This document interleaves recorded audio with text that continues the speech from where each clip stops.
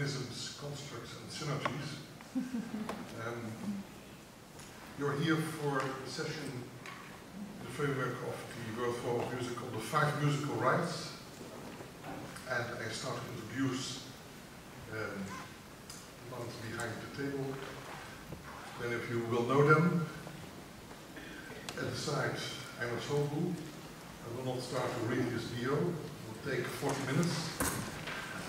But he has been uh, in various board functions within the IMC, so strongly connected with the whole idea of the five musical rights. Um, Dick Letts, not unknown in Australia and worldwide, um, was also president of the IMC, also a defender of the musical rights. And on the other side, Svani Pettan, who is uh, Secretary General of the ICTM, the Council for Traditional Music. Uh, and my name is Frans de currently President of the IMC, so also quite familiar with the defense of the five musical rights. Um, you have found in your program book a short summary of the discussion um, about the history of the musical rights in 2001. Uh, and, uh, well, I need not to read it out, you can read it in your program book. What we're going to do is to go to a number of questions around them and perhaps some explanations how they came into existence and what they mean, what they meant in the past and what they mean now and what they could mean in the future. Um, an interesting item further in the discussion will be, and that I can only say because I just come from a session from another organization, the Music Council of Australia, where it was about the future of classical music or classical futures. Uh, and there was an interesting dilemma. Um, the what was called uh, exposure of music, uh, which is of course very important if we want to support and let music flourish. Uh, we need contact with the media, contact with the audiences, uh, reaching out to the community. And one of the speakers, representative of um, ABC, so uh, Australian Broadcasting Corporation, was um, saying, well, classical music has no exposure or less exposure. The problem is that um, it, it's just enormous difficult to get the broadcast rights. So we see sometimes heavily subsidized opera companies and uh, orchestras, ensembles, uh, where there is a proper remuneration and recognition of the artists, and as soon as they provide access to it, or want to give access to it, uh, and that's one of the other sides of the musical rights, uh, there come problems because it seems to be too expensive. So there is one of the rights, the proper remuneration, going to step over the other rights, the right to access for all. And that's, I think, an interesting item to uh, come back to in the discussion. But I should like to give now first floor to Einar Solbu, who has prepared a presentation, even with some technology, uh, on the history and the context of the five musical rights. And I think it is important to have this information before we enter into a discussion or a further explanation. So, Einar, go ahead, please.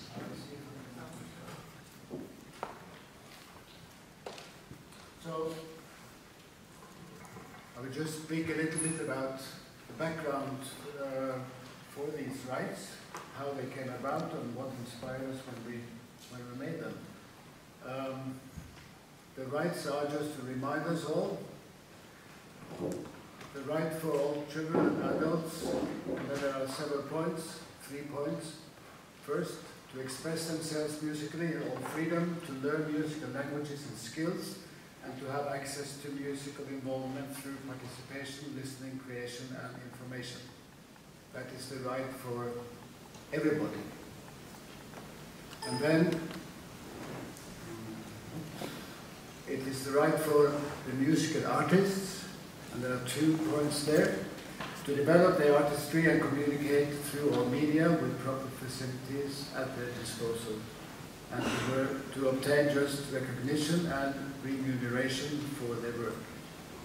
So those are the rights that we set up as the, I would say, the basis, the, the base, basic framework for the work of the, of the IOC at one. The background, we looked at two legal documents, namely the Universal Declaration of Human Rights, which I think almost all countries and nations in the world have adopted, and the Convention on the Rights of the Child, which is also a UN document. Both are UN documents. And then we were inspired by the Charter of PEN International. As you will know, PEN International, which overlooks the right for authors to express themselves freely. And the PEN International will also act if there is censorship um, taking place. Um, I will just show you a few quotes from these documents, the human rights and, and the, uh, the rights of children, just to show you where we, in particular, found a basis for, for the, the IMC rights. First of all, it says in Article 22, among other things, everyone is entitled to realization of the economic, social, and cultural rights indispensable of its dignity and the free development of its personality. Very general thing. Then in Article 27, it says that everyone has the right freely to participate in the cultural life of the community and to enjoy the arts. And there is more, but that's the particular uh, phrase that was important to us. And then in Article 23, it says that everyone who works, this is a general statement, but it should also then include musicians, has the right to just and favorable remuneration, ensuring for himself and his family an existence worthy of human dignity and supplemented, if necessary, by other means of social protection. So these are three very, very important statements that we looked at uh, when we made the five musical rights. Then, from the rights, uh, the Convention on the Rights of the Child, in Article 29, it says that the education of the child shall be directed to, and there are several points, but we quote number A, the development of the child's personality, talents, and mental and physical abilities to their fullest potential. And of course, we, it's implied that, that when we talk about their talents and their mental and physical abilities and to their fullest potential, potential that also include their artistic and creative uh, potentials.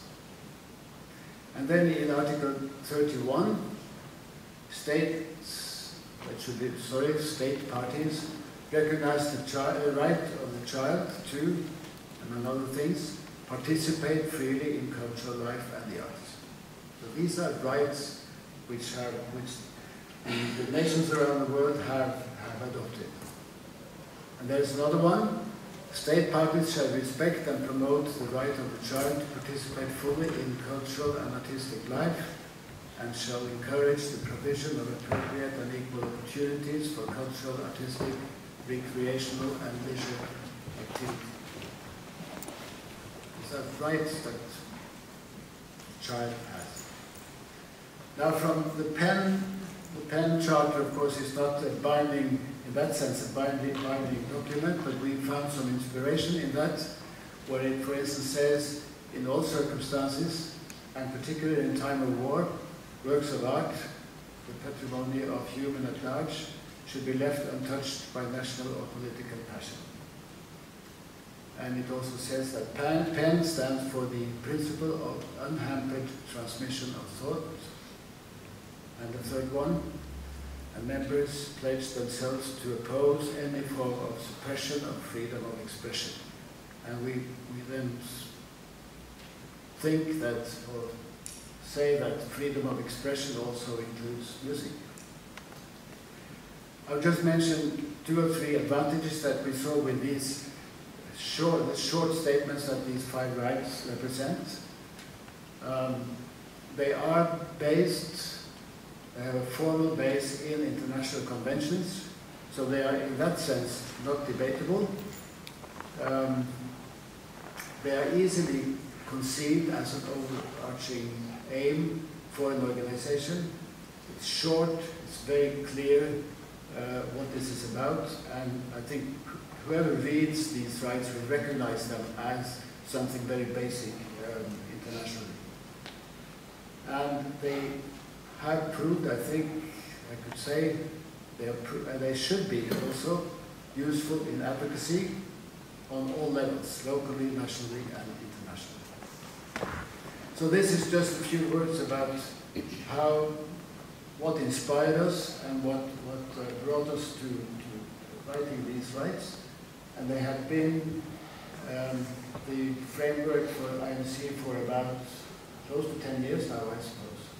I, don't have the exact date, but uh, close to 10 years. So that is what I thought I would give you as a background. Thank you.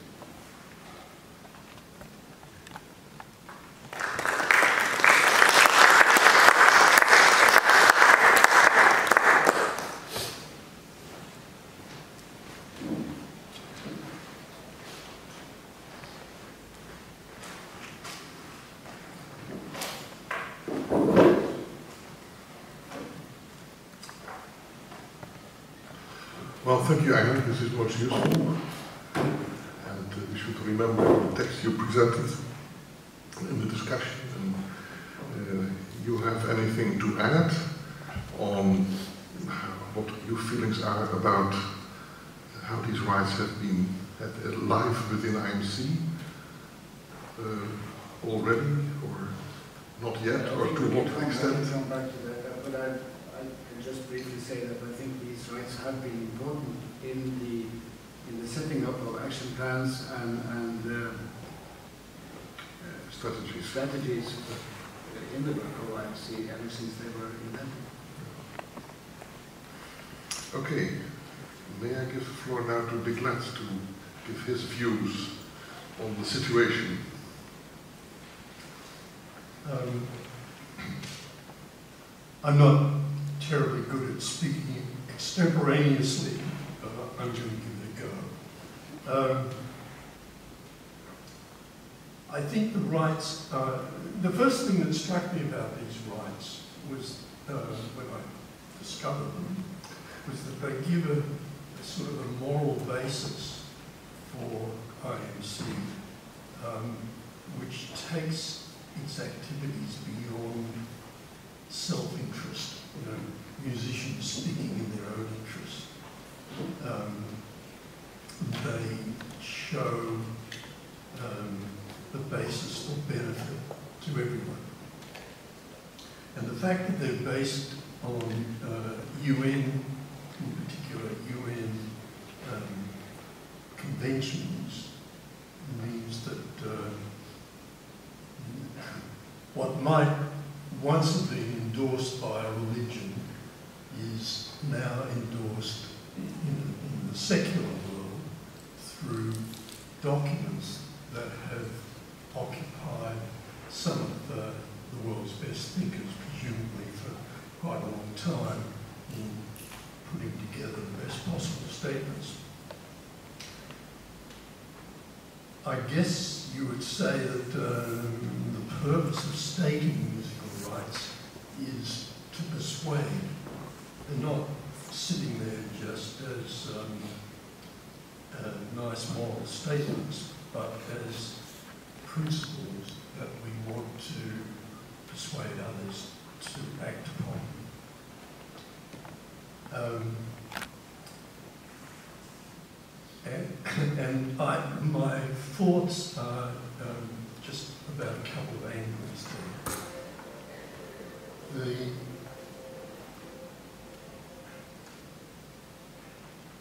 the right to self-expression is um, afforded basically by governments not um, not breaching, not preventing self-expression. Whereas, for instance, uh, the right to um, uh, a music education requires not just that the government gets out of the way, but that it um, provides for it financially. Um, the actual wording of the of that right is the right to learn. I can, I can No, probably no, take no. just, I can, we can, we can maybe Okay. have the further action. People can learn without the government intervening, but in point of fact, at least in Western societies, um, if you don't come from some form of privileged family, you won't get a music education unless the government provides it. Government provision is the way to uh, universal provision of music education. And uh, if these are rights, then, they, then implicitly everybody's entitled. Um, similarly, the right to the means of communication um, depends on active provision. Uh, I mean, um, you can't broadcast on radio unless there's a radio station to broadcast on.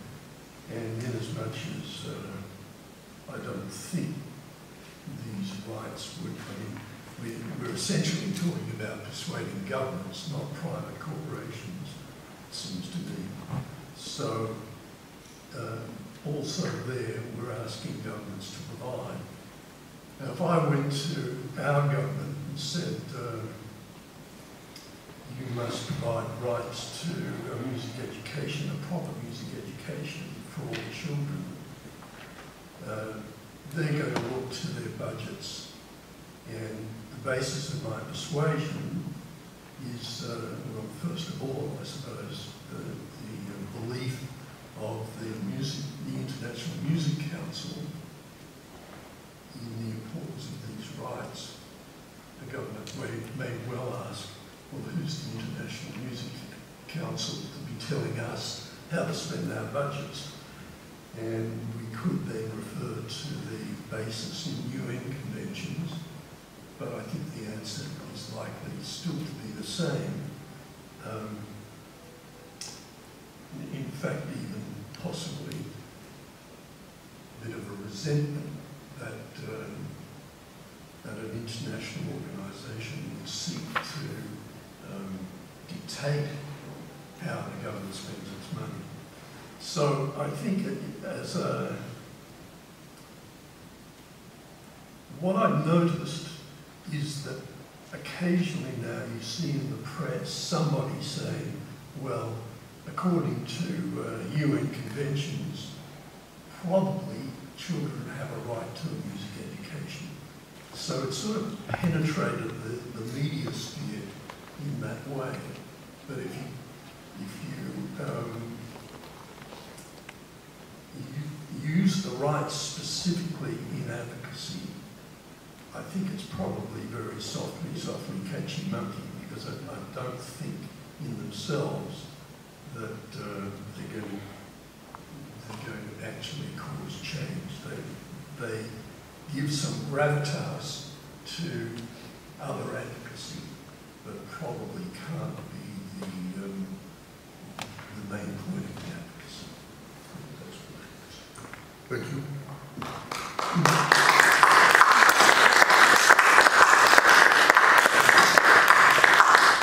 There is, of course, always the difference between uh, signing a declaration and agreeing with certain text and the implementation of the consequences of this. And that's the, the world where we are in. But I'm coming back with perhaps some interesting examples later in the discussion.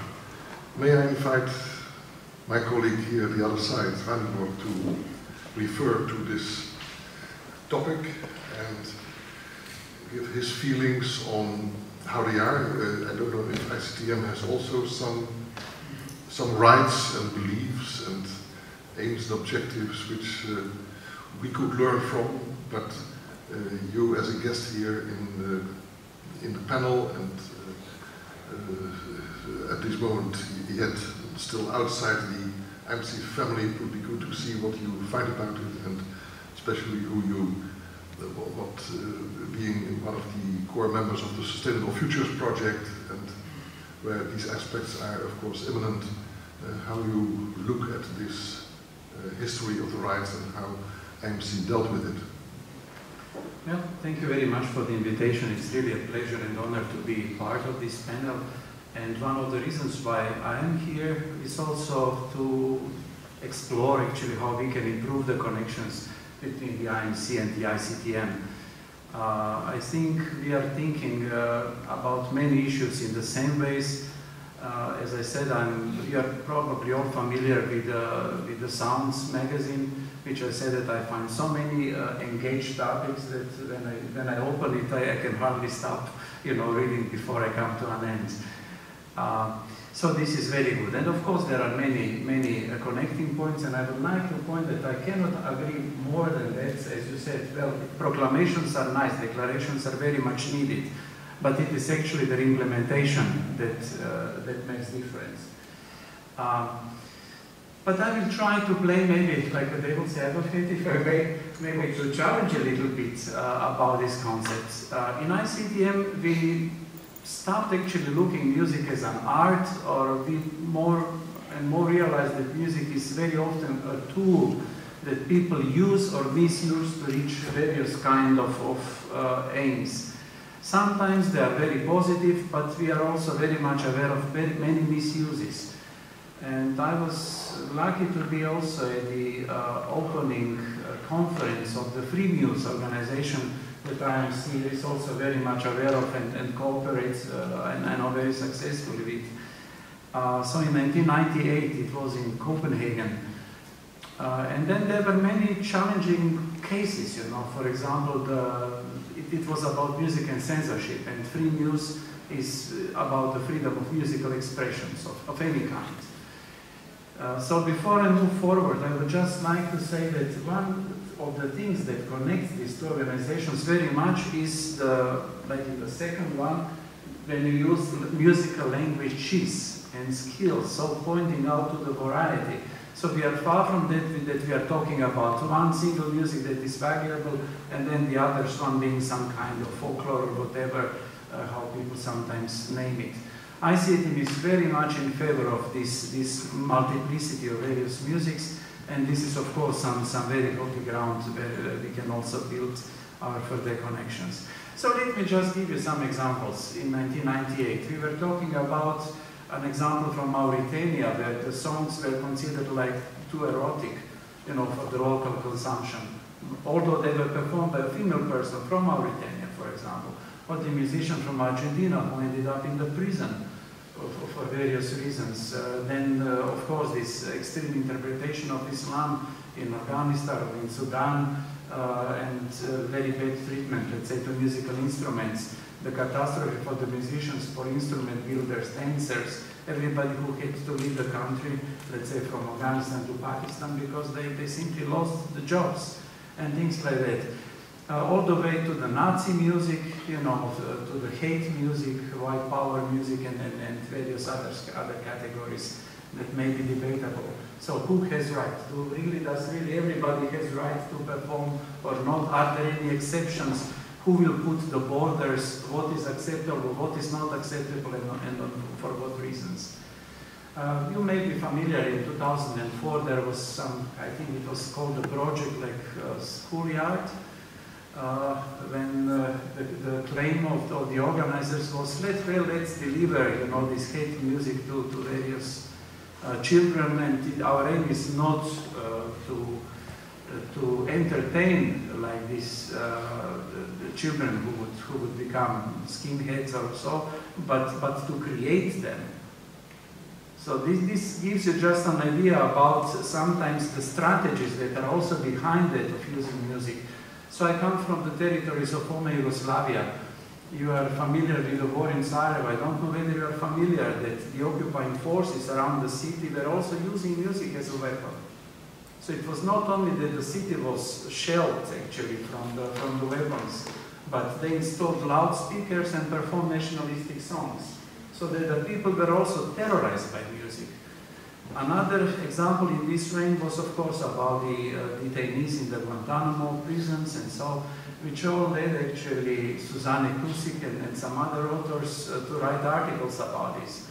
I was writing also articles in 1998 about music and war in Croatia, also showing how the detainees were woke up, let's say in the middle of the night, and then forced to sing the national anthem or, or, or some other songs that were against their own political leaders or their, their, their cultural authorities.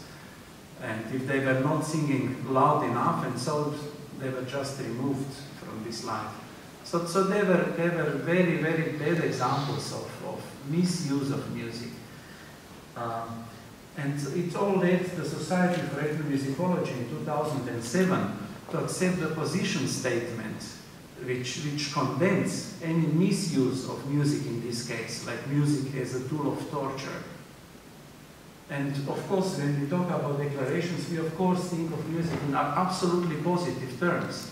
We think of music, yes, this is a very good tool, for example, to raise the awareness about the AIDS in Africa. There is a book by our colleague Gregory Barz. But of course, we should also be at the same time aware of these uh, other uh, negative, negative sides uh, of it. And if I can add, maybe in my own work also, I, I use music as, as a tool uh, to raise, let's say, awareness, uh, understanding among people who, who were of different cultural backgrounds, who had maybe different even political positions.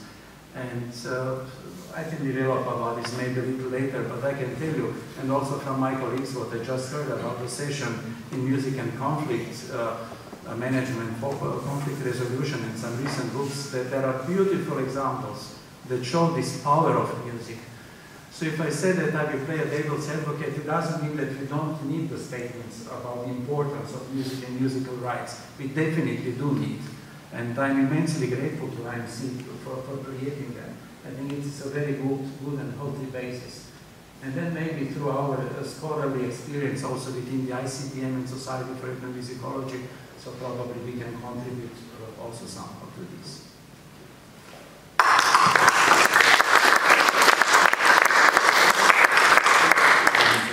So thank you very much, Fanny for this uh, wider perspective on the matter we know a little bit about it. But it's good that you highlighted some, uh, some examples uh, to bring them into the discussion.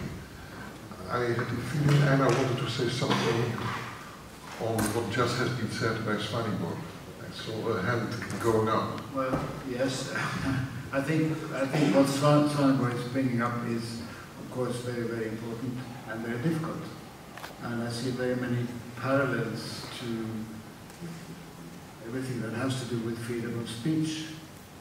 I mean, there, I think we will all defend the freedom of speech, but there are, of course, always limitations. You can use words, you can use speech, you can use writing to violate other rights of people. And um, I mean, in, in my country, which is Norway, where we had an awful accident, or not an accident, it was a terrible thing about two and a half years ago, uh, there has been a lot of discussion about where is the border, where does the freedom of speech uh, and expression end, uh, where do you pass a moral, ethical border? Uh, and I mean, there is, I think, there is no, you, you can't write down the solution to that question. That's something that has to be negotiated and discussed and, and worked on in any society at any time. I also agree absolutely with you when you say that music is not only an art. I mean, here, here we use the same way as, as the words can be used for art, but it can also be used for anything else.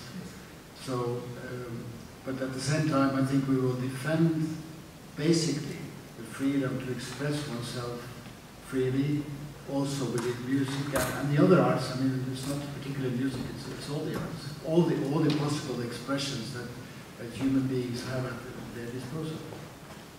But being very aware of and having to work all the time on these, where are these borderlines between where, where your right to violate others, uh, where that starts.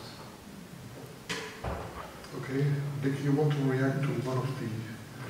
Not yet. Um, before we enter into other uh, discussion points, like uh, if there might be sometimes conflict between uh, the two sections of the rights, uh, or on implementation, are there questions from the audience on the more, let's say, general picture and the historical part? I don't know if we need microphones to be sent around or that you just stand up and take the floor. Deborah, you should like to contribute to what has been said. Okay. Uh, Please stand up and raise your voice or come to the front and use a microphone. That's perhaps better. yeah, um, lot of, very interesting points. Um, I, I, many things I could say, but I wanted to pick up on Dick saying something I'm a bit perplexed about. Uh, you talked about the fact that it would be a good idea uh, to ensure the um, the blanket. I think you could talked about the, the blanket effect of music education for everybody, music being accessible for everybody through governments, uh, because this uh, appears to be one of the ways to ensure this. And uh, you spoke about perhaps your government saying being a little um, resentful of an international organization um, trying to influence policy. Uh, I would say that governments nowadays are well acquainted with international organizations dictating policy because I don't think any governments are behaving anymore like states governments. They are, from an economic point of view the world, we're now in that phase yeah, where policy is dictated.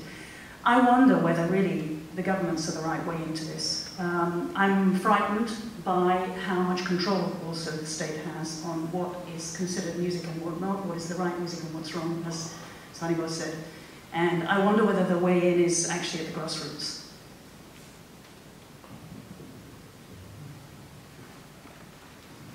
Anyone would like to react? Dick? Well, I, yes, um, I suppose. Um,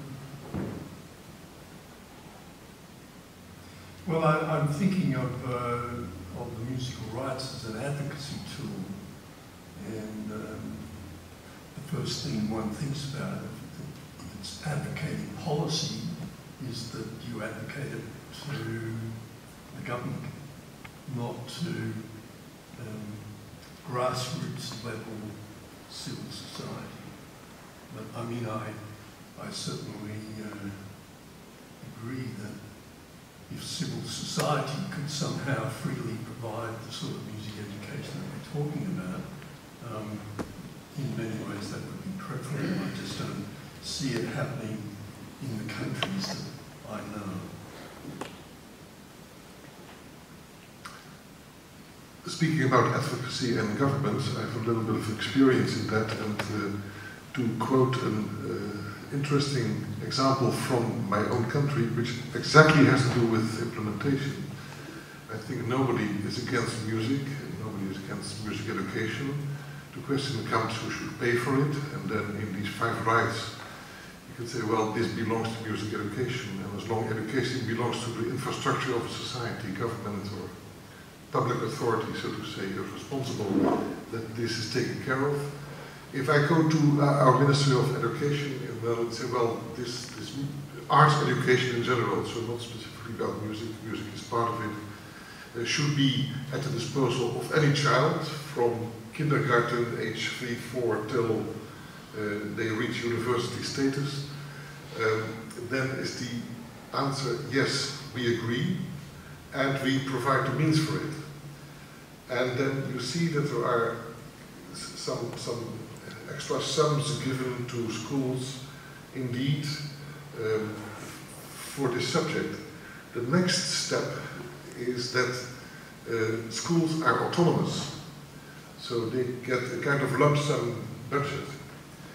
Um, so there comes this little stream of money into the lump sum, then the school is autonomous to, to use that, and then there comes an efficiency budget cut on the whole lump sum.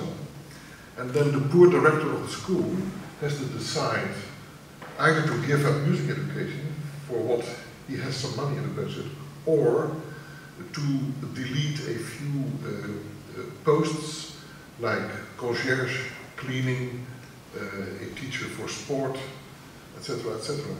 So this is a devilish dilemma.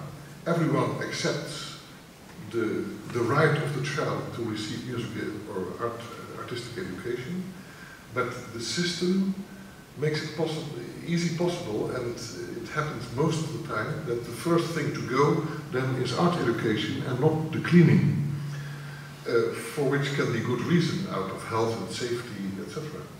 So, uh, and then it's a very difficult discussion on the basis of the five musical rights to go to your government or public authority. Well, you're not doing the right job because the other, we did it.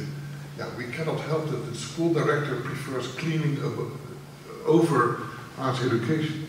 So this kind of, this will not be the same in all countries, but this is a very strange thing happening, and then you are in big trouble. I don't know if uh, one of the panel members of the table has a solution for that dilemma, uh, but this is actually the situation in uh, at least the Netherlands. It's a small ink spot on the map, but nevertheless it happens. I know. Yes, of course I have the solution. Good. No, but I mean the, the, the whole idea with these international conventions and documents stating, uh, I mean, basic principles and, and to which nations agree um, I mean, I don't think we can, I don't think we find any convention which has been adopted uh, through the UN system and, and, uh, taken on board in, in most of our nations, which really uh, is implemented fully. But they are there, and I think that's our, our job, and it's IMC's job, to highlight these, these rights because then they, have, they, can, they can be and they should be and they will be used as, as tools, as, shouldn't say weapons because that's very negative, but I mean something that we can refer to as civil society. I mean it's a civil society which has to put the pressure on the governments and you can, I mean civil society can put pressure on the governments for any anything uh, they want to, to put pressure on for, but, but uh, with this in the, in the background, I think we, we are stronger than, than advocate, advocating for any other because this is something that has been considered by the international society as a very, very basic uh, thing. So it has to, I mean, it's up to us in our countries, in local, on, on all levels, to, to, to use this, take advantage of these of these formulations and use them in our, in our pressure towards governments, local and, and, and uh, national governments. But there is no solution to it, Dick? Um, so I, I've been involved with the IMC since 1989, and at some point, 10 years ago, I guess, the musical rights uh, were adopted uh, virtually without my noticing. uh, and then I was president from 2005 for four years. And the musical rights are sort of there somehow. But it suddenly occurred to me that I never think of what the Music Council of Australia is doing in terms of musical rights. It just wasn't sort of um, worldview. And uh, so the last thing I did virtually as president was to uh, instigate the Musical Rights Awards, thinking that this might be a way of getting our own members at least to start thinking of what they're doing and what others are doing in terms of the musical rights and getting the concept to, to permeate our world um, at least as a sort of a part of a world view, a, a murmur in the background somehow, at least of what we're doing and maybe, you know, rather than direct advocacy to governments, there's this initial step that we need that, that we think of our world, we start to live in a world that to some extent is shaped by these concepts. This prize has uh, gotten a lot of attention and it was on purpose that I provided the floor to Deborah Parker, who is representing one of the projects, which is this year's prize winner of the Musical Rights Award. And we will hear more about it tonight at the dinner, picnic under the stars, and the various presentations where the project will be highlighted. Um, others at the table or in the hall who want to speak the, this aspect of uh, implementation and use of it, please stand up and. I would coming back to this uh, solution. You say there is no solution. I think there is one solution. Maybe it's more uh, self-confidence. So when you say there is a teacher or a director from a school that says, okay, uh, we don't have enough money, so we have to uh, cut the sports. Why not cut the sports? so uh, the uh, the arts, uh, it's the same in my country. Is just not so uh, self-confident. They say, okay, sport is more important. This is more important. That is more important. So if there is no money for that, stand back. Why should we do that? And uh, another point uh, about misuse of music, uh, if you have more author's rights, the moral rights, uh, then uh, this uh, peculiar music of these authors couldn't be misused. Because um, if you see the publisher contracts, there's written down, you give away everything and you have no right to speak against the misuse as maybe uh, music for uh, a war advertising film. You will have strong author's rights. This is not possible. You have to go so far to this uh, very, very strong uh, picture togetherness. But in the common life of a composer, you have all the time the situation that your, cut, uh, your rights have been cut down but just uh, for uh, uh, one who brings you music and can be glad to get a little money out of it and have no right anymore. So I think the Central Europe philosophy, the humanistic philosophy of author's rights, maybe is one of the solutions, in contrary to the copyright idea in the United States, one can uh, do with uh, the music uh, he owns, what he wants. So here, Uh, let's say, maybe composers are more moral uh, and humanistic uh, root persons than publishers. Maybe, hopefully so. Okay? Okay, thank you. Perhaps Svanibor can comment on this, and if ICTM has ever dealt with the subject in, in this way, the composers' rights, contracts, publishers, etc. Well, in Europe, in these days, uh, almost every country has some kind of agency that, that takes care of, of, of, the rights, right? And very often we find these agencies like counterproductive because the right sometimes limits like the, the praxis, musical praxis, uh, uh really the, on the grassroots level and prevent actually, let's say, young ensembles performing and, and, and so uh, also uh, because sometimes you know this percentage that you have to pay to the agency is much higher than these, these people would even earn. It would be able to cover the, the performance venue. So this, uh, I'm very happy that you raised this question because uh, I think it's, uh, it, it is something important. But uh, now if you allow me, I would maybe go back to also the previous discussion and say about these financial aspects that are, that are very, very important. And I think we should probably learn from the good practice in various countries. I would emphasize maybe Norway, your country, uh, because this Rikskonsertene concept, I, I, probably you are familiar with this. Uh, this is like one national organization. It exists also or existed in, in other Scandinavian countries. Uh, that takes care of bringing music to the schools, you know, in, in, in the waste, uh, very far, far, far removed areas, like Norway is an extremely big country. And, and I found this concept uh, enormously important and, and, and, wonderful. And then there are also projects like the, the Resonant Community, something that was uh, going on between 1989 and 92, I think. Also giving this multicultural uh, contents actually to the schools. Bringing, let's say, the musicians from Pakistan, from Latin America, from Asia, the countries of immigration to Norway.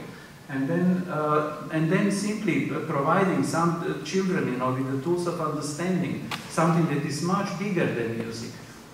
Yes music is used as a tool in the best possible sense of the word in advocacy but preparing these children really for, for the world that is not the same as it was uh, at the time of their parents uh, so I think this is maybe just one of these very, very nice examples. And of course, I, I know that uh, some of you are just directly involved in wonderful projects uh, like, like Deborah and so uh, that, that really can make this world a better place. And, and, and, and uh, I, I, cannot be more in favor of, of, of thinking about this in terms of music. And there is possible probably on, on behalf of IMC to together maybe the examples of good practice, like from different because IMC, as I understood, has su such a wonderful network uh, access to, to 150 countries.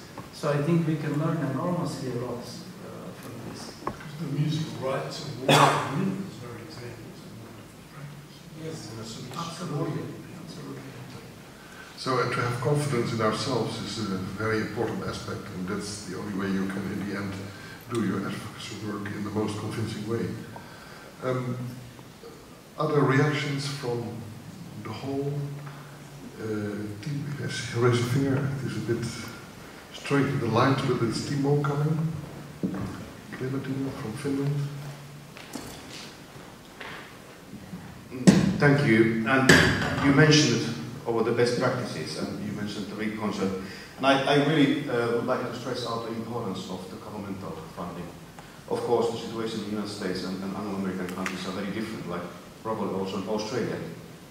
But the fact is that if given one good example of, of model which really seems to work, Finland, is the fact that uh, there's a kind of system in Finland that the funding of the music education is based for the state funding, municipality funding, and the tuition fees.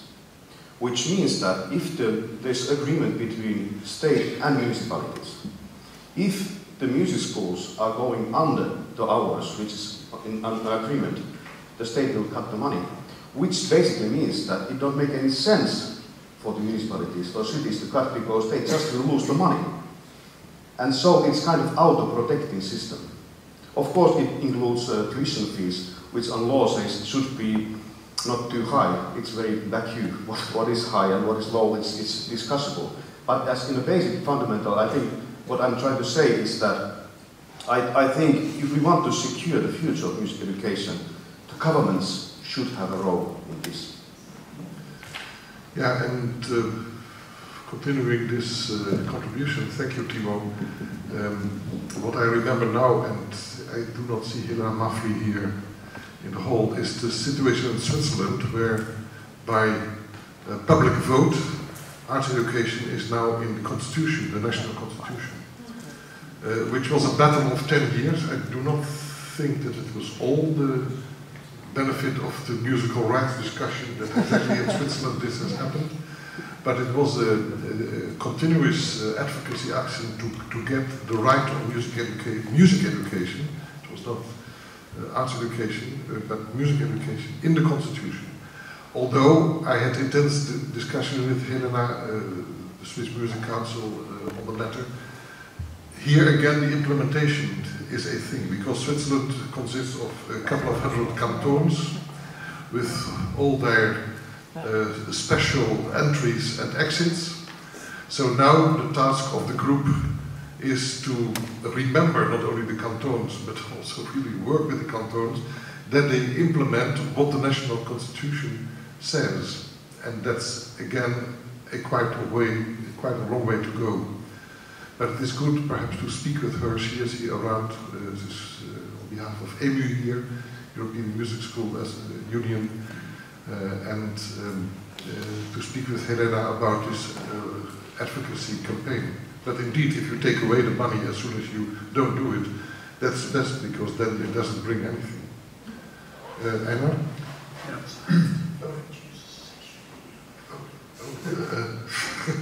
Excuse me, I have to go to another session. in, another, in another building that you get with seven conferences at the same time.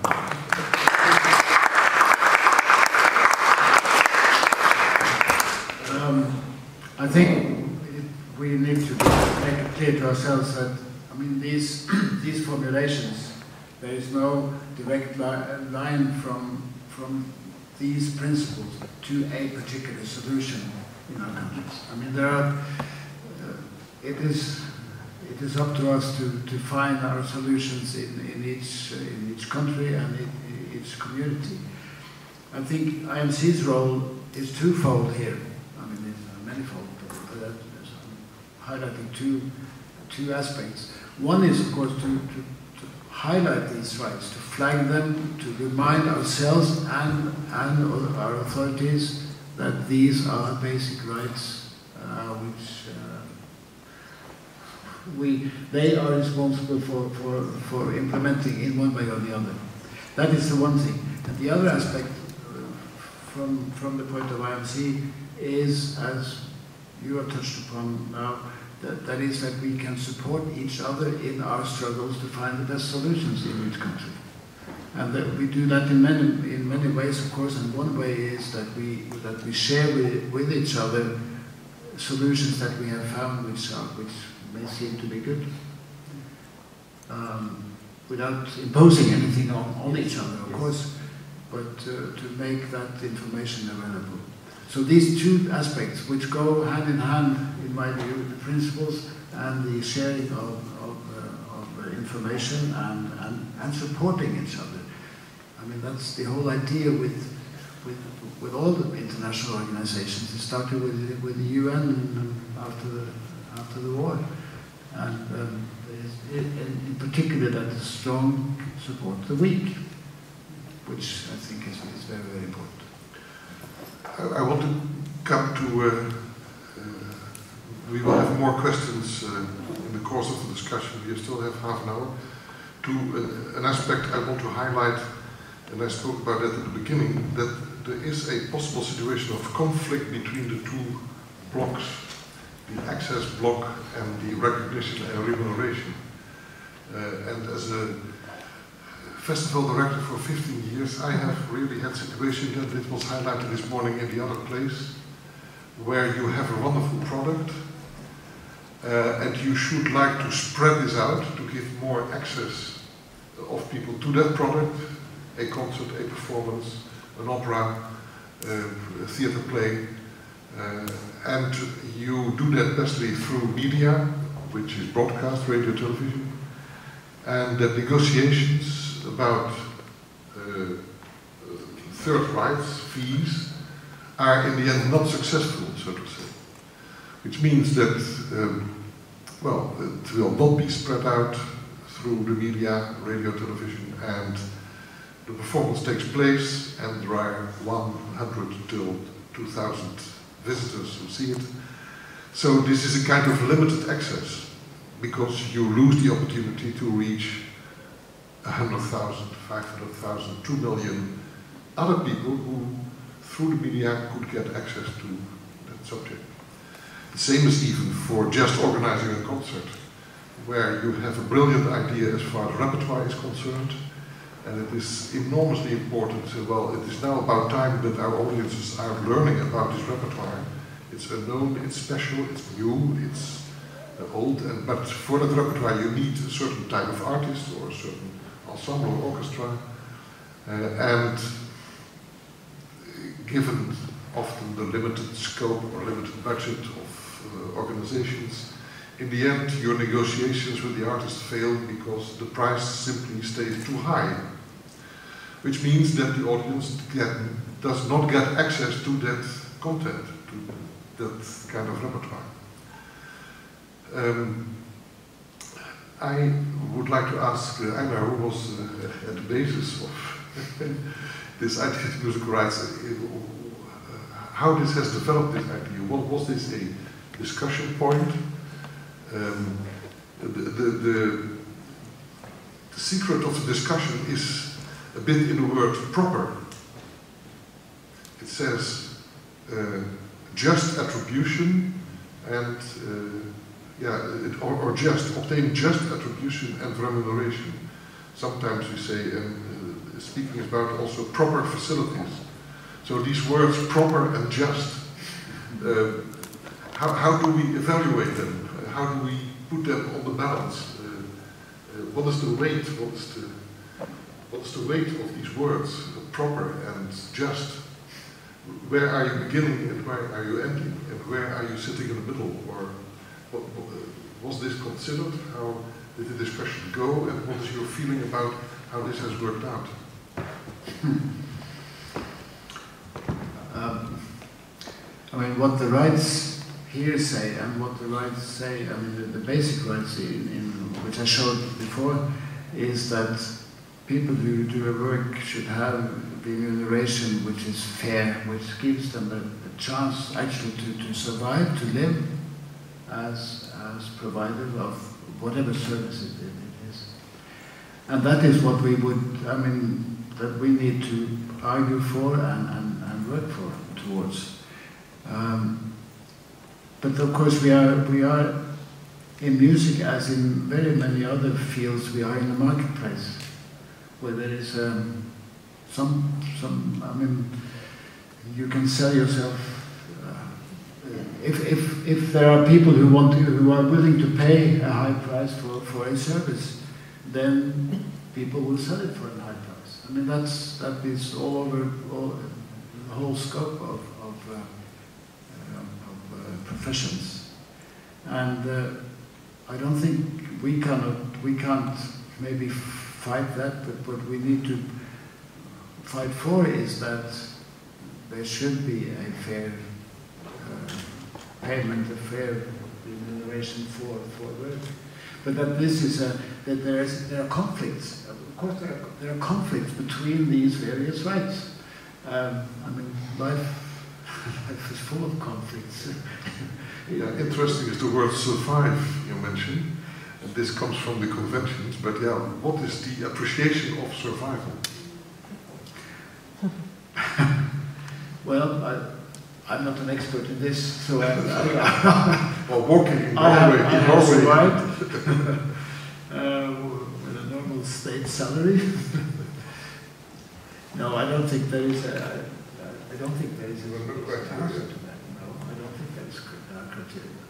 I mean, there, I've been involved in big discussions about what is poverty. I mean, when, how low do you do you have to go in income to describe yourself as, as poor?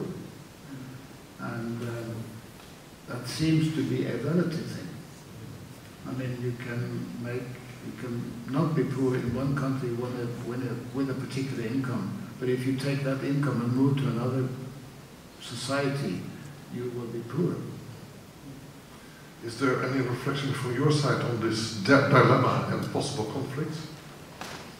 I can say that it should be left in relative terms so that it can be uh, adjusted and uh, used in different countries because we are talking about globalization, we are talking about the free movement of people uh, across borders, but we know that this is not really the picture of the world in which we live. And uh, also, I think for, for this meeting, so there were people who were unable to get visas even, even to enter the country. Uh, well, my wife being one of them. so, so it, it, just depends what kind of passport you have sometimes. Whether you have a wrong passport or, or, or that one that will entitle you to get it maybe in two hours or two days. So it depends. Uh, so I think uh, it, it's good to leave it open in this way. And uh, catching this word poverty, this is, I think, also something that we should, we should keep in mind. And maybe I would like just to call your attention. The ICTM uh, publishes this, uh, this is our major publication, which is called Yearbook for Traditional Music. And uh, the theme uh, in this volume is music and poverty. This is the topic. So uh, with this, I would like to tell you how actually we are thinking in, in, in the same way about, about these things, about the, the things that are relevant for us to discuss uh, in, in, in, the, in the current world. And there are many examples also of good practice here, how to deal, what, what are the aspects, what relates music and poverty. And I think this is, the, this is for example, the topic that we were, we were waiting for. And uh, I think it's, it's good to have it, it's a good food for, for thought. But when we talk about these conflicts, I would like maybe to point to one that I found very often in the praxis. It is not about uh, one right against the other, but about a different interpretation. Are we talking about the freedom of artistic uh, creativity, or are we talking about something that is maybe very much against, let's say, members of certain groups? For example, there was a CD that was created in Slovenia some time ago uh, and uh, the cover of, of this CD showed like Madonna with, with, little Jesus, and then the artist replaced the Jesus with the rat. With the yeah, rat. You know, little animal. And uh, so, of course, many religious people found it very much offensive, and then those who, who did this piece of art, or you can call it piece of art, quote unquote, whatever, so of course that they claim, no, no, no, no, no, we didn't mean to, to, to do anything against anybody. You know, this is our freedom of, of, of artistic expression. So I think this is the kind of situations that we, that we find very often today, when there are different values, just like different standards in different parts of the world. Uh, and so the, these are the concrete problems that sometimes we have to deal with. Any comments from the floor on this subject of conflicts between one right and the other. Deborah, was your remark you asked attention for in this direction, or? It picks up on survival, but it's not to do with okay. Anyone on this situational conflict? Yeah, Harald? I just want to point out, uh, this is not necessarily a conflict. Access to music and get a fair remuneration. Please explain. Please explain. No, um, you can come to the front and use the microphone. Then it will be recorded and it will be filed for history. Access for, accessible for everybody. we will get a fair remuneration. So, Harald from Austria, Vienna. Um, I think the, uh, the, the five musical rights are very important um, to integrate um, the uh, advoca advocacy work of um, uh, musical um, organizations.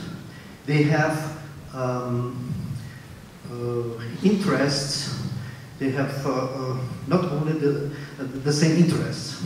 So, uh, in, in this formulation of the five musical rights, you can have on maybe on, at a national level um, a, a, campaign, uh, campaigns who are uh, uh, um, from from the field of the music education and also from the field of the music industry. So they can, can come together on the basis of these five musical rights. And I, I think that's the, uh, the, the, strong possibilities of these uh, musical rights. So um, to, to have access to music or to spread access of music uh, is, is not necessary in contradiction to, to get a fair remuneration for, uh, for uh, musical work. So not necessarily, but no. when, it, when it happens, you have a kind of a conflict. I gave a few examples. I failed from time to time to come into terms on the basis of what I found proper and just, and the other party did not find proper and just, and we had a discussion on proper and just, but the end result was no contract and less access. So for me, that was a conflict. Yeah. Um, I'm, I'm in favor of the rights, of course. I will defend them everywhere. But I had that conflict, not we one time. uh, but many di- times. discuss uh, this in, in um, several um, other panels. So the um, now we have uh, the, the most um, uh, widespread access to, to mu- music uh, in history uh, through the internet. So and with a lot of problems. with a lot of problems. And a lot uh, of musicians who um, in the field of uh, uh, remunerations of the, of the authors. know? So that's unsolved problem. There are conflicts, yeah? Uh, but not necessary. That was, that's what I want to say. No, it's not necessary, but there are options for conflict. Dick, who has just arrived back and is new to the subject now, immediately wants the floor. Please go ahead. Listen, couldn't say anything. Uh, well, uh, one thing that strikes me about this is that there would be no discussion of these uh, conflicts or edges had we not already stated that there should be, for instance, freedom of expression. So it's part of the civil society, um, the way it operates, is that uh, there's always going to be uh, a point at which there's dispute or discussion, or, you know, uh, how free should the expression be? Uh, what level of music education is, is considered enough? How much access to the media is, is enough? And if we didn't have the statement of rights, then we wouldn't be having those discussions. That's a good philosophical concept. You may go now. So we are now about 75 minutes in the discussion. Uh, I would like to invite the audience to come with uh, general remarks on the various topics uh, we handled and uh, also the plan of the IMC at least to uphold these five musical rights in the future, as I'm well informed. So we try to go on with it. Um, uh, you can trust us. It is an advice to the new board of the IMC to also champion for these rights. But there might be various remarks. I see Sonia and then Deborah again and then you and Silja. So we have four speakers. They, if they could come to the front and uh, there is a microphone now, a loose one, so it needs. I, I want to come back to this last question because I, I think on the one hand it's the same kind of conflict that we were talking about before where do the rights of one person end and the rights of the next person begin like with the freedom of expression so I think with any right you will find a limit to the right because you are touching somebody else's right so if I'm talking about the right of access obviously if I believe in copyright issues and in remuneration, I must come to a point where my freedom of access hits with the right of the, of the musician. Now, there can be mechanisms that can bridge this. This is when you get state funding, for example, to uh, allow access, free access, and musicians still being paid. And I think this is often a question of, to take a non-musical example, I'm enormously impressed here in Brisbane to see how many free services are offered to the people by the city. I go here to the South Bank, I can go swimming for free, I have clean showers for free, I have toilets for free everywhere, nowhere do I have to pay. That doesn't mean that these things aren't costing anything. It means that the city is investing in offering this free service to the people. And the city can decide to offer free music and free access to music, and they are the ones paying for it. Or I have a foundation paying. So I think that that's. But what is good about that is that it actually raises the awareness that if I offer free access, there still has to be payment. And when I discuss with young people today, that's what I find frightening. Is that young people are not even aware of their own rights when creating things because they grow up in a society where when this isn't being discussed. So, so my nephew is not aware of the fact that if he writes a story, he owns the rights of this story, and a friend of his cannot simply publish it under his name. And that's why I think it's still important to, to keep the rights, even if they are conflicting, because they create a certain awareness um, for the necessity to discuss these things and to find where the borders are right. I think that's what you mean, Juan. So um, when somebody is charging uh, 10,000 euros for half an hour, then we probably think there's something wrong and it's not a fair remuneration anymore, it's a more than fair remuneration. So that, that's what we have to find out, and we have to try to see who can help to bridge those gaps.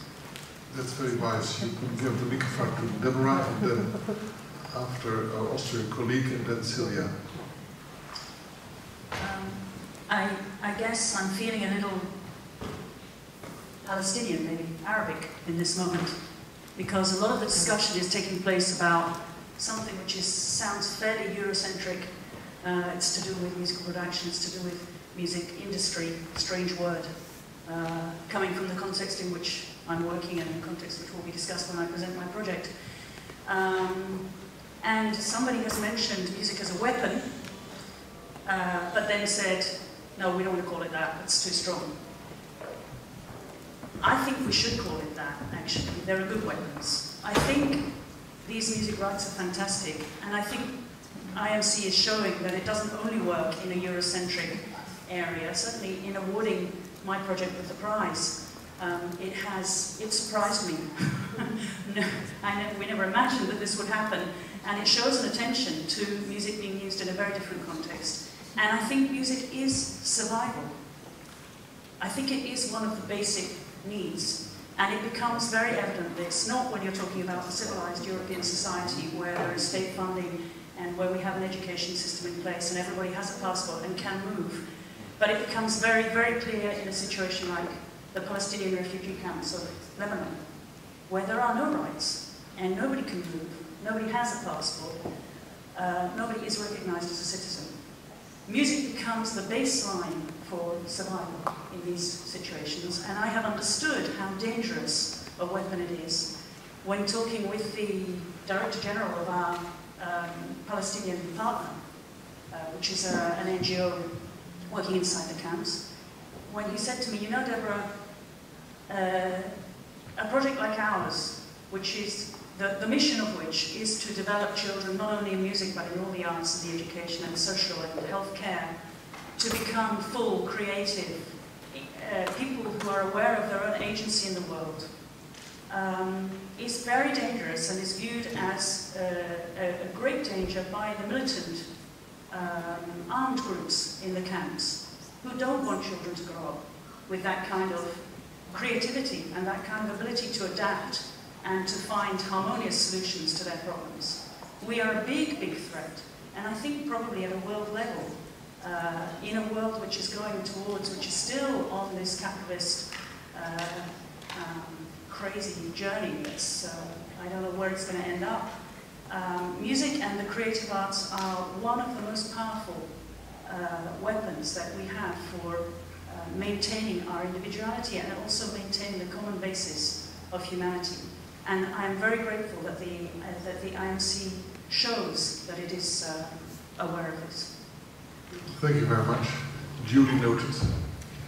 As a moment endum to this very wise uh, and thankful uh, thoughts that you shared with uh, us now. Uh, I think the human rights uh, declaration that is the basic of that uh, was formed because the human rights have been in a very bad shape.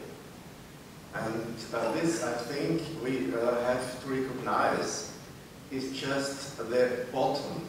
This is the bottom rights we have to save. The discussion, uh, if there is has a, a proper uh, remuneration uh, like uh, a star singer, is not a really conflict. So it's a point of the market price.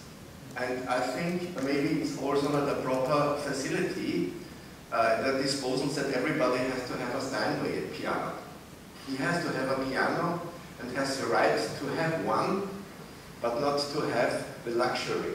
So I think this is not really uh, a conflict, it's a, a conflict uh, of rights, it's a conflict in the market. But this is a quite different uh, discussion.